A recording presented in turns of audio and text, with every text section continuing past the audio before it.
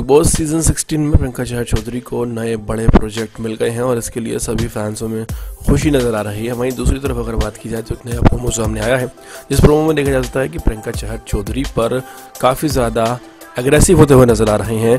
मंडली गैंग के बचे हुए चिंटू।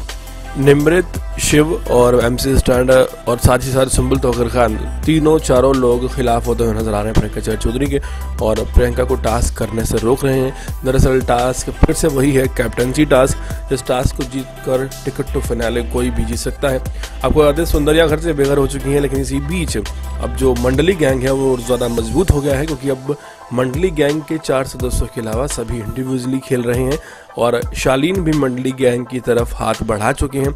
ऐसे में अर्चना किसी के साथ खेलती नहीं है तो प्रियंका के साथ खड़े होने वाला कोई भी नहीं है और यहाँ पर साफ़ नज़र आ रहा है किस तरह से प्रियंका अकेली ही मुकाबला कर रही हैं इन सभी घर के सदस्यों का।